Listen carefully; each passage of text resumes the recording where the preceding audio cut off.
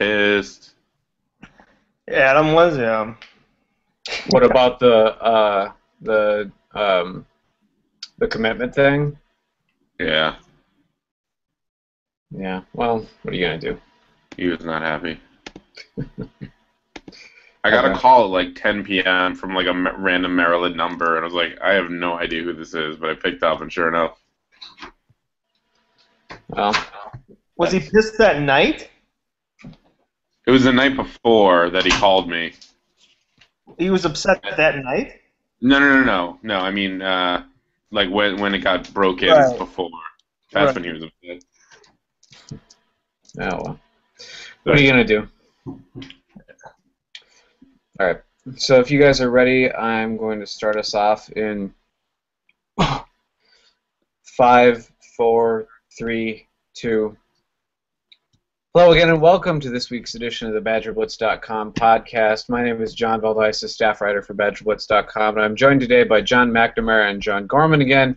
Guys, how are you doing after uh, Wisconsin's very close and uh, you know I, I don't think it's a a big risk to call it a controversial ending to their thir- uh, their 32 to 30 loss to Arizona State over the weekend.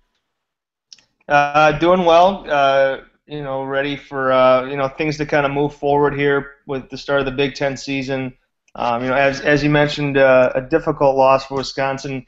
It's kind of been talked at uh, to all extents at nauseum almost about the end of the game. So um, I'm sure you know Gary Anderson and his group are, are pretty eager to get back on the field on Saturday, and uh, you know I'm excited to see how they bounce back from that difficult ending uh, on the road against Arizona State. Yeah, I'll, I'll echo a lot of those comments. I am both doing well and uh, eager to see how the you know ready for the Big Ten season, see how they'll uh, bounce back against Purdue.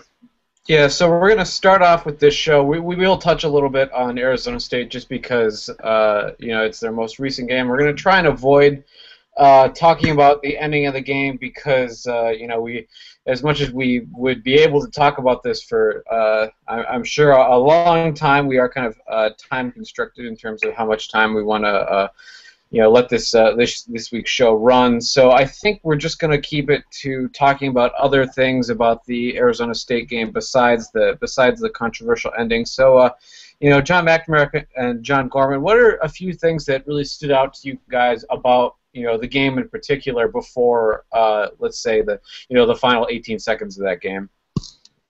Yeah, you know, I think you'd start with Melvin Gordon and uh, you know how he performed. Um, you know, I think some people might argue that he didn't get enough carries, you know, um, throughout that ball game. Um, but really emerging as is a big time superstar. Um, you know, with big play potential every time he touches the ball. So I mean, that's I think that's one thing to take away from it. Uh, the the second thing, and you know, it, it's been touched on a little bit, but uh, the weather at Arizona State and how well Wisconsin seemed to be conditioned, you, you didn't see guys, you know, going down and being cramped up and stuff like that. So, um, you know, I thought the conditioning really showed with Wisconsin how well they they, they conditioned for that game. Um, you know, obviously a, a difficult ending. Um, in, in the way that you know Gary Anderson uh, handled himself after that game and throughout the week, uh, you know, being bombarded with questions about that, I think um, you know it's pretty easy to pick up uh, what Gary Anderson's all about, and you know his character from from the first time you get to hear him talk or get to meet him. So um, you know the the way that he handled himself this entire week and after that game, I, I think really kind of speaks to his character and the type of person that Wisconsin has. So um, you know outside of uh, you know that ending that's been talked about uh, at length, I think there were some positives to take away from that game. Um, I, I think Arizona State's a very good team. I, I think they'll do well this year. That's a difficult place to play um, and for Wisconsin to uh, to put themselves in a position to win late in the game with the, with the field goal. I, you know, I don't know how much you can take away and feel good about yourselves after a loss, but um, I, I think there are positives to take away from that game. Yeah, uh, a couple other things I wanted to bring up. I thought the defense as a whole played very well. Still, uh, over the course of the whole season, they've only allowed uh, four rushes of 10 yards or more, which is pretty astounding stat considering they played now three full games. Um, and I know I know Arizona State, I believe, rushed for four touchdowns on the ground, but they're all from the short variety. Um, and they, they had a very good offense. You know, um, they they could pass the ball a lot. And uh, they passed the ball effectively. And despite you know the back shoulder throws kind of bit Wisconsin a number of times, uh, I thought the secondary was a little hard done by the penalties, the pass interference calls. Um, and I think they, they, they did a pretty good job overall. I mean, it was definitely an area um, that was a supposed weakness, and I don't think it was a weakness. I think it's a young group, um, and it showed that it's a group that has a lot of upside.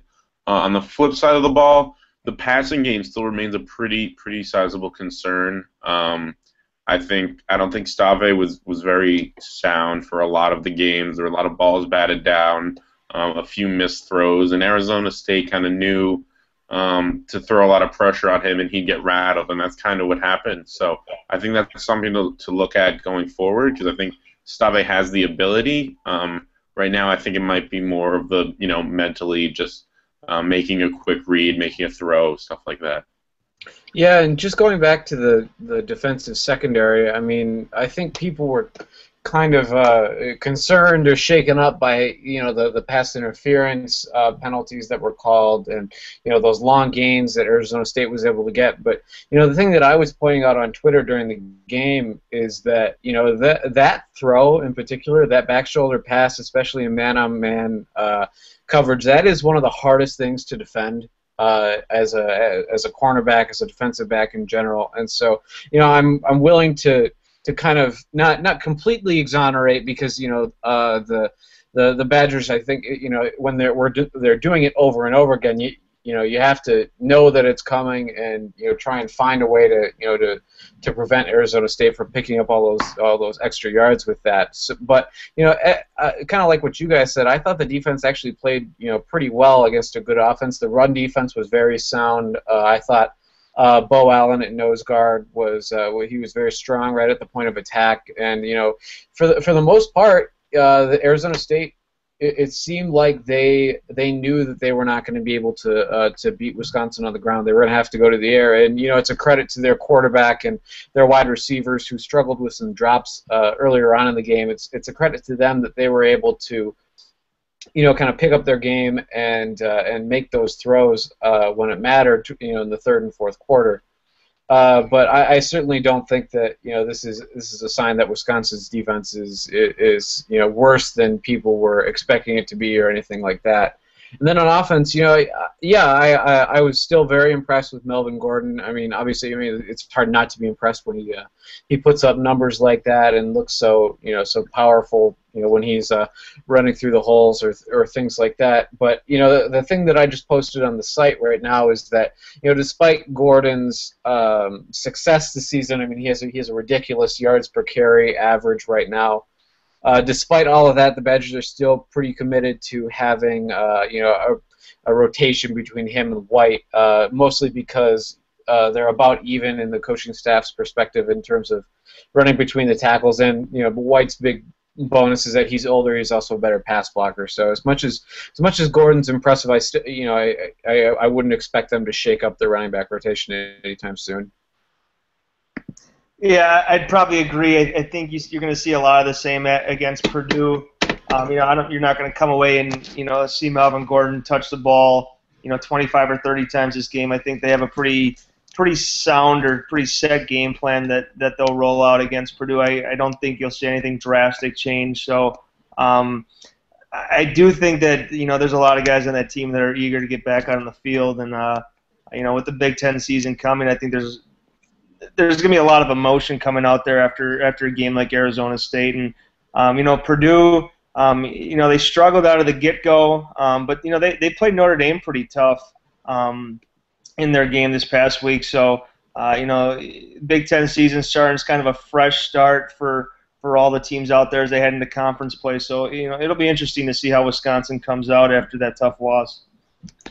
Yeah, uh, it, it definitely will be interesting to see. I, I don't really know um, what to think about this Purdue team right now because, as you said, they really did. They played Notre Dame tough.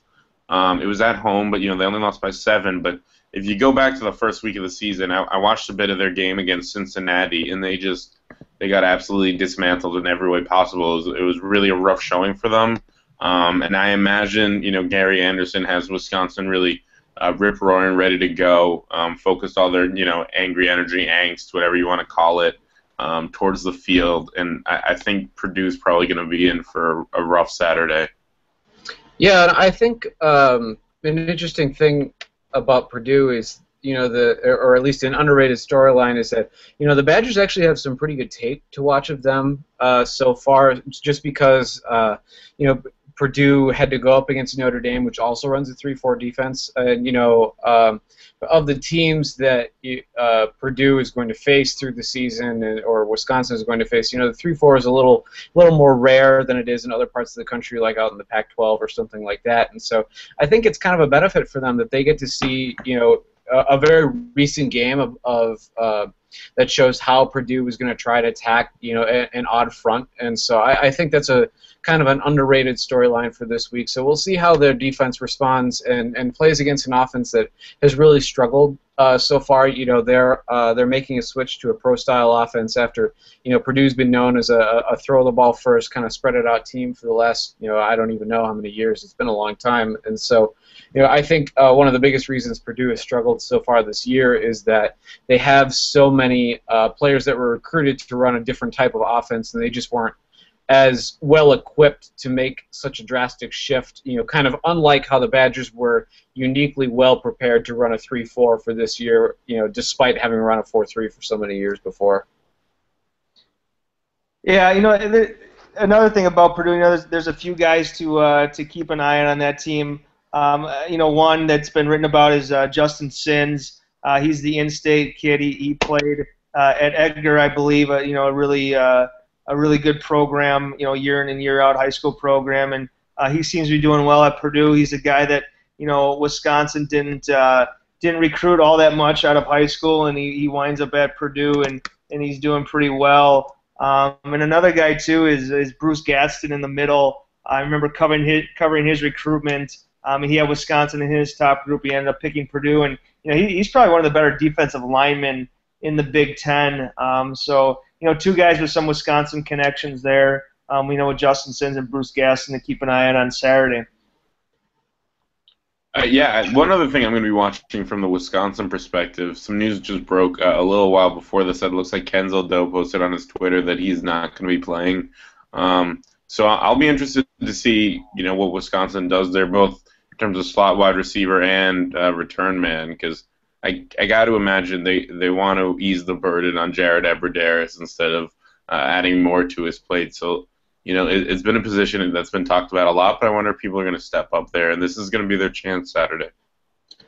Yeah, the uh, especially the the punt return situation is interesting, just because uh, the Badgers have a, a very well established option at punt return in Jared Abbrederis, but you know, with him being really your only dependable wide receiver. You know, the guy, the one guy you know you can uh, you count on, the guy that uh, they, you know, they, they know what he is. To, to put him back there on punt returns has to make uh, Coach Anderson and the rest of the Badger coaching staff kind of nervous because you know I mean like it's special teams. People get hurt on special teams. It's it's an extra snap that he's on the field for. I mean you just never know what's going to happen. But then obviously the the reward side of that is that Abbrederis has been a very effective punt returner in his career. So we'll see if if the Badgers do. Uh, elect to put him back there, or maybe they'll uh, stick somebody else that they think can uh, handle the role. Um, you know, not maybe not quite as well, but you know, it's it's uh, a less of a risky play to put them back there.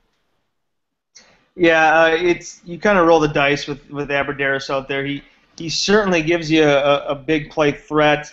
Um, and someone who you you you're pretty positive he's going to catch the ball consistently and um, you know make the right play. But uh, I'm sure Gary Anderson loses sleep over that. Uh, you know, with, with him in the backfield there, um, you know, having your top wide receiver there. So um, I, would be interested to see if they work a guy like uh, like Corey Clement in there. You know, in the kick game or in the return game as well, um, to try to get him some more touches. You know, he's obviously shown that. Um, you know, he's a very capable back. Uh, you know, he's he scored a few touchdowns in the first two games. He got some carries against Arizona State. So um, you know, maybe he gets some care, or I'm not sorry, some more time on special teams. Um, a guy like Jordan Fredrick, I know, has fielded kicks. Um, I wonder, you know, they, they got a few options back there behind uh, Kenzel Doe, who's who's going to be out, and then Jared Abbrederis as well. Yeah, if I can just interject quick, uh, the the one big reason that I think uh, the Badgers will probably put Abbrederis back there. Now that uh, John kind of sparked my memory, is that you know they've had some trouble uh, fielding the ball over the last couple weeks. Uh, you know they, they had the one turnover against Arizona State where they kind of muffed the recovery. And uh, if there's one thing Abbrederis does, I mean, like it gives you a bit of peace of mind that he's at least going to, you know, he, he's probably the most likely candidate to be able to field that ball cleanly. So you know, if it comes down to it, I would I would imagine that's going to be a pretty significant factor in uh, you know when Gary Anderson makes his decision about that. Yeah, that's a good point. I, I don't know what the weather forecast is like, but uh, it was raining cats and dogs, from what I hear. I'm I'm in New York, but you know, supposedly it was raining rather heavily in Madison today. And if, if the weather keeps up like that, you're going to want um, ball security is definitely going to be at a premium. So you want sure hands back there. Okay, so I think we've uh, well we've recapped a little bit about Arizona State, talked about Purdue. So now it's probably about uh, a good time to move into some recruiting news. Obviously, you know this isn't uh, their game against Northwestern, but the Badgers actually have a pretty significant week in terms of uh, bringing in some prospects that they have a good shot with, or you know some some highly touted guys that they'd they'd like to increase their standing with. So uh, John Mack and John Gorman, I mean. Uh, of these guys that are going to come in and visit, you know, who do you think they who do you think they need to impress the most? Uh, I mean, I guess I just what are you expecting to see out of these uh, official visits this weekend? Well, you know, it's it's always good with that 2:30 kickoff time. Um, you know that that always seems to uh, amp things up for for the official visitors. You know, getting the chance to see Camp Randall when uh, things are really clicking there. Uh, you know, you, you, the game kind of carries on to the night, and you know that's kind of a that's a pretty special atmosphere. You know, one of the better atmospheres. Um, you know, at least in the Big Ten, you know, people talk about it throughout the country. You know, I, I certainly think the staff, um, you know, from a recruiting standpoint, uh, certainly appreciates those those 2:30 kickoffs, or you know, even those six o'clock, seven o'clock kickoffs. So, um, you know, Purdue, this, this game will give you that. Um, they'll they'll have a pretty decorated list of guys there. You know, the headliner is is probably Jalen Brown, the wide receiver out of Arizona. Um, I know the staff is has told him before that he's uh, you know their number one target at wide receiver. I think Jamil Kamara has been told the same thing. Um, you know, so th- those two guys might be one A and one B uh, in terms of you know Wisconsin's top targets at wide receiver. But uh, Jalen Brown's a guy who's got some Wisconsin ties. Uh, he visited in the summer, and uh, you know that really vaulted you know Wisconsin into his top group. I think had he not visited this summer, Wisconsin wouldn't have made um, you know, that initial cut for him, which I believe was, you know, seven or eight schools. Um, you know, now, right now, Wisconsin, you know, appears to be one of the top schools um, for him right now. I, you know, a lot of the talk is that Vanderbilt is is his top school right now, but you know, getting him on campus for an official visit is certainly big for Wisconsin, um, and he, he's a he's a huge target for them moving forward. Uh, Lubern Figaro, um, you know, a, a guy out of Boston who could play a number of different positions. Um, he's got Wisconsin in his top five.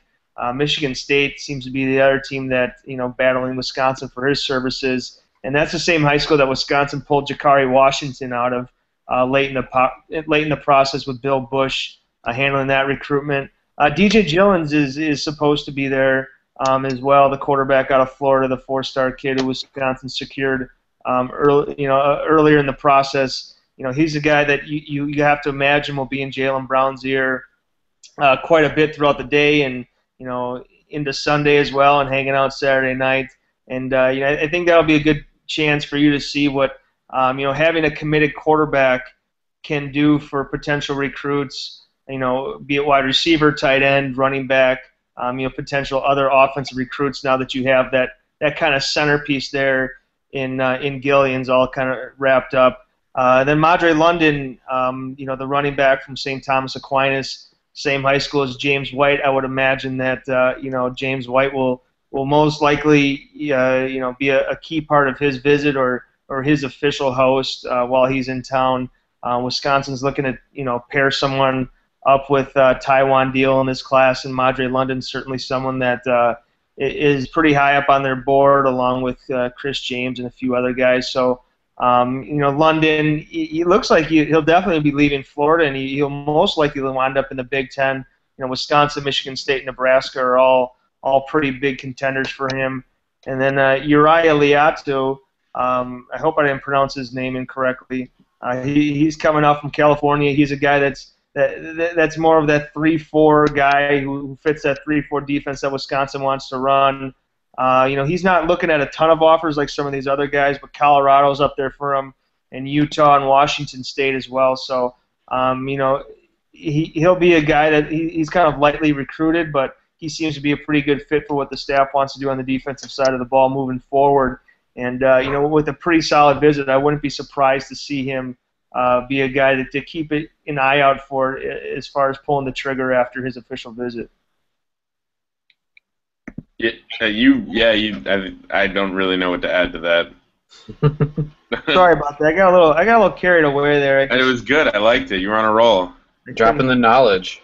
Couldn't stop myself there. So, um, you know, we we've been talking about, um, you know, the October 12th date is obviously very, very big for Wisconsin with a lot of headliners there, but um, you know, this, this this group is pretty big. You know, if, if they can make up some ground on a guy like Jalen Brown, um, you know, he's a guy I think could come back uh, and make an impact right away at a school of his choice. You know, he, he plans on graduating early. Um, you know, he was a little nicked up at the Rivals 100 camp down in Chicago, but uh, you know, he, he certainly belongs as one of the top you know players in the country in that 2014 class. Um, offers from all over the country. Um, he's got his niche kind of kind of whittled down a little bit. Like I said before, I think Vanderbilt might be the leader right now. Um, but getting the guy on campus, um, you know, anything could happen. He's got those family ties as well. So um, I think a strong a strong official visit, you know, if Wisconsin can show him what he's looking for, uh, can definitely you know put Wisconsin as one of his legit strong contenders moving forward. And then Madre Lund is another guy that to kind of keep an eye on as well. Um, I, I, think Nebraska, and Michigan State might be a little bit out front for him, but you know that that St. Thomas Aquinas connection, um, you know, with guys like Des Southward, James White, Conor O'Neill, um, you would imagine they'll be in in his year. And Wisconsin is absolutely looking for another running back in this class. I could see them taking three if they could get the right guys in place. So, um, you know, it's certainly a big recruiting weekend for Wisconsin for that first Big Ten game of the season. Yeah, and you know, it's a, a big uh, recruiting weekend when uh, the Badgers actually picked up a, a new commitment in uh, over the you know in the, the previous week in uh, Chris Jones, uh, wide receiver from DeMatha, same high school as uh, running back Taiwan Deal. So guys, what do you think of this commitment? What does it mean for Wisconsin's 2014 signing class? I, I think it's I think it's a great get for Wisconsin. Um, I was able to watch Jones play um, against Godby a little bit. Um, it was one of their games broadcast on ESPNU, um, and you know I was impressed. I think he, he's got good size. He's very smooth. Um, he's he, you know Gary Anderson talks all the time about wanting big plays in the pass game, and I think he's someone who who can do that. Um, I think he can stretch the field a bit. He isn't a burner, but I think he can get deep. Um, and, and, and like uh, you know, a lot of the things we said with Deal kind of apply here, in that DeMatha's a, a great program. Um, it's one that you really want to get a pipeline into. Um, you know, the, the Mid Atlantic is, is a region that the Badgers have been exploring more and more recently, so uh, getting a foothold there is, is, really good. It also sounds like Chris Beatty did a, a fantastic job with his recruitment.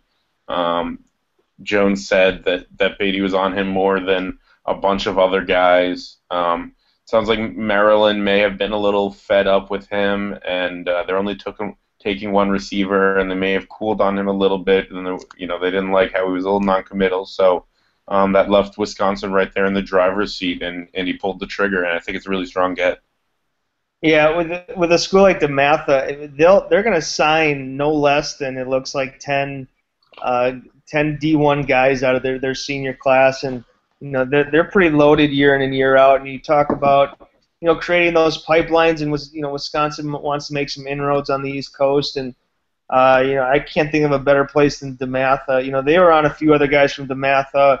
Uh, you know one of their offensive linemen, Brock Rubel, um, and then Cameron Phillips as well. Um, you know a wide receiver um, from DeMatha.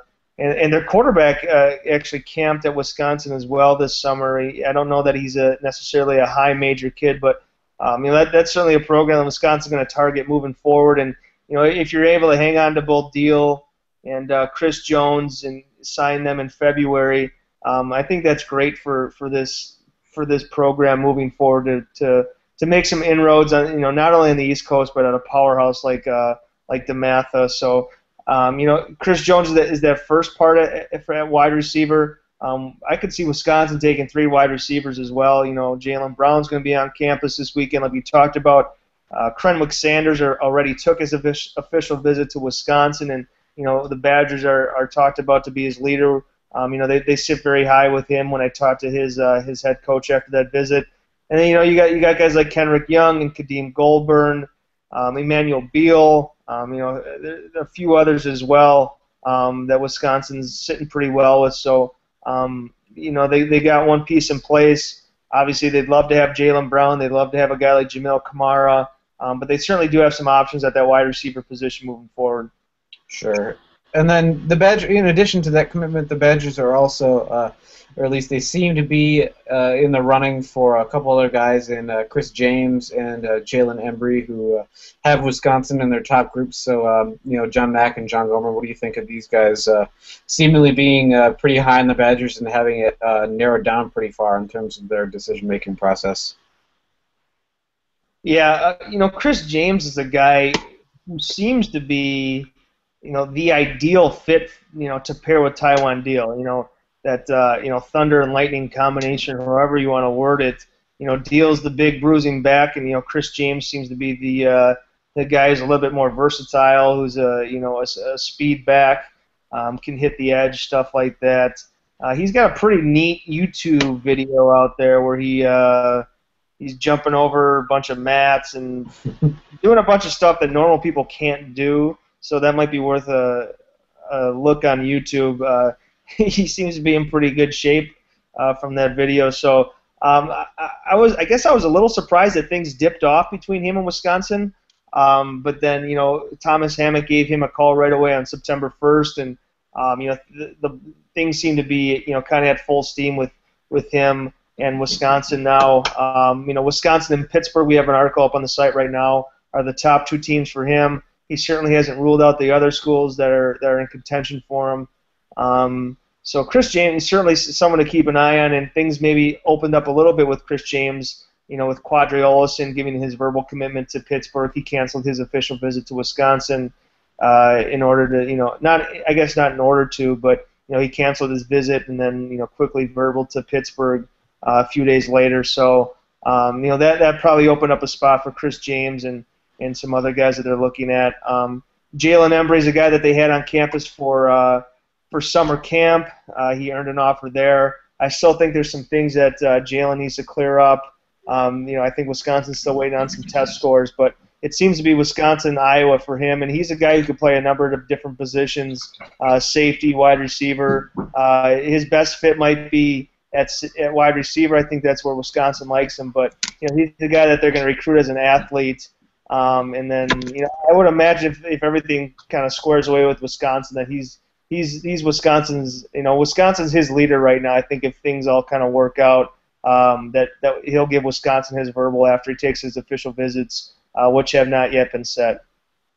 Yeah, I mean you touched on just about all of it again. I think em- Embry's definitely an interesting case in that, as you said, he can. Um, he is extremely versatile. So if you add him, and then even if you miss out on all your big, you know, wide receiver targets, he's someone you can maybe start out at wide receiver um, when he gets on campus and then go from there. But even if you, you know, even if the Badgers are able to land a commitment from, say, Jalen Brown or Krenwick Sanders or someone else, maybe they move Embry to the defensive side of the ball uh, to start out with because he certainly has ability to play multiple positions, and I think um, that's definitely a major perk to adding him to your class. He's also um, he goes to um, you know much like Taiwan Deal and DeMatha, um, Jalen Embry goes to Martin Luther King in Detroit um, which is another very solid school uh, football wise. The Badgers have already offered actually Tyreek Thompson, um, kind of a safety outside linebacker uh, class in the 2015 class who goes to that same high school. So um, a lot of maybe random things um, put together make Embry a very appealing uh, potential recruit for the Badgers. Sure. And then, uh, if I remember correctly, is uh, is Chris James scheduled to visit the Badgers the same weekend? Uh, you know that that Northwestern weekend when uh, Joe Mixon and every other you know like recruiting headliner is going to be on campus. Yeah, that's that's when he's scheduled his his official visit for. Um, you know, that, that's going to be the kind of blowout weekend for Wisconsin. That you know, we there's a lot of official visitors who are going to be there, um, and I would imagine there's going to be a boatload of 2015 kids there as well. Um, so you know, that's that's every year there's kind of a highlighted game where you know they, they really turn it up on the recruiting front. Um, but like you mentioned, you know, Joe Mixon will be there. Um, you know, Chris James will be there. Uh, Damien Mama, and the list kind of goes on and on and on. So um, you know, to get our Joe Mixon plug, uh, you know, he, he re- just tonight, you know, uh, Mike Farrell for Rivals.com just just reported that he, he canceled his Florida official visit. Um, you know, that I guess that bodes well for the other teams in the mix. It, it, the more and more, you know, that this that his recruitment drags on, the more and more it sounds like he'll stay closer to California. Um, you know, we were talking before we before we went on here that Cal might be the top pick right now, and I, I wouldn't be surprised if he jumped on, uh, you know, UCLA this weekend and tried to get an official visit there. It sounds like he wants to stay closer to the home, um, but you know, there's, there's there's still a little ways to go in his recruitment right now, and Wisconsin will obviously get him on campus and, and get a chance to make its pitch to him. But the you know, the more and more his recruitment drags on, it, it sounds like. Uh, you know, Cal could be the front runner with you know with UCLA kind of picking up some steam late. Um, I always thought he would wind up at Oklahoma, you know, with those Adrian Peterson comparisons to him. Um, but you know, the more and more it sounds right now, the more it sounds like Cal uh, could be his spot. And, you know, maybe UCLA pushing on late, but you know, anything could happen once you get a guy on campus. Uh, yeah, I'm glad. I'm glad you uh, you hit our Joe Mixon quota of one for every podcast. That's that's nice that we get keep that trend going. And I, I don't really have anything else to add to this, but I just read recently that Cal surprisingly is in the top 10 uh, terms of NFL players and, and what college they came from. I did not see that coming personally. Yeah, I mean they they've had a decent uh, coaching staff, or at least they did, you know, previously. You know, Sonny Dykes is still kind of uh, untested at Cal. I mean, I'll be interested to see.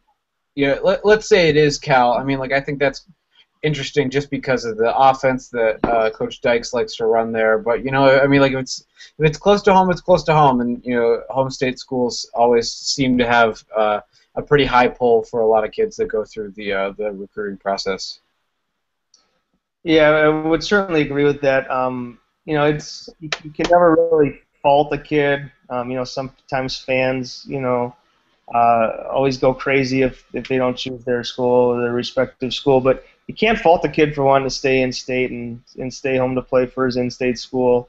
Um, you know, obviously California gives you a few different options to stay in state. You know, unlike Wisconsin, but uh, you can't fault the kid to, to be able to play. Uh, you know, in front of his friends and family and stuff like that. So I think there's a ways to go, but you know, it seems to be trending towards Cal, and you know, they that team has certainly picked up quite a bit of steam. Um, you know, as the summer's kind of weighing down. Sure. So, uh, unless you guys have anything else to add before we sign off for this week, uh, I think that should pretty much do it for us uh, for this week's edition of the BadgerBlitz.com podcast. Uh, you know, obviously, the Badgers have their game against Purdue coming up. Uh, we'll be at the game doing our normal coverage, and then uh, we'll also be or BadgerBlitz.com. So me and then our photographer Dan Sanger will be at the Ohio State game not this weekend, but next weekend. So that should be an exciting thing for uh, for us to be able to get a lot of uh, good content up onto the site. So uh, make sure that you're following all of us on Twitter. I'm at uh, John Veldhuis, J O H N V E L D H U I S. Our publisher John McNamara is at McNamara Rivals, and then John Gorman is at J O N underscore Gorman. Uh, and then don't forget, if you like the show, you uh, download every week. Don't forget to uh, subscribe to the show, leave us a review in iTunes, uh, send us any uh, ideas or uh, tips, suggestions you might have to any of our emails or over Twitter. And once again, just thanks for listening to the BadgerBlitz.com podcast, and we'll talk to you next week.